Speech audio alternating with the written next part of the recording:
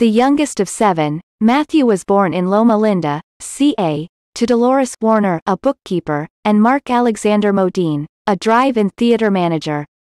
After graduating high school in Imperial Beach, CA, Modine moved to NYC, 1979. Matthew studied with Stella Adler at her Conservatory of Acting. While still a student of hers, he began landing starring roles in film, and later theater and television.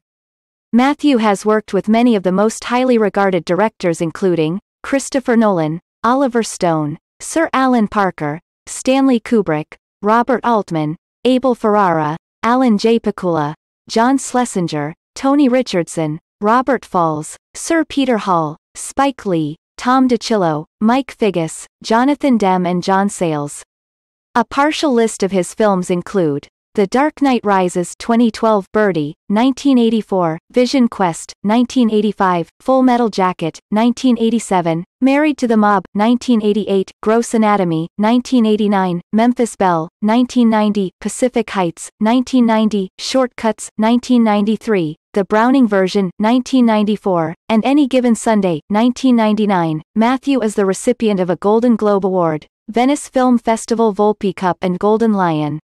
Mary 2005, directed by Abel Ferrara, co-starring Juliette Binoche and Forest Whitaker, won the Special Jury Prize at the Venice Film Festival. Birdy won the Cannes Film Festival Grand Prix. Equinox 1992, directed by Alan Rudolph, received four Independent Spirit Award nominations including Best Actor and Best Film. For his work in television, Matthew was part of the Emmy-winning Showtime series Weeds 2005. He has received Golden Globe and Emmy Award nominations for the MOW What the Deaf Man Heard, 1997, and HBO's Emmy-winning And the Band Played On, 1993.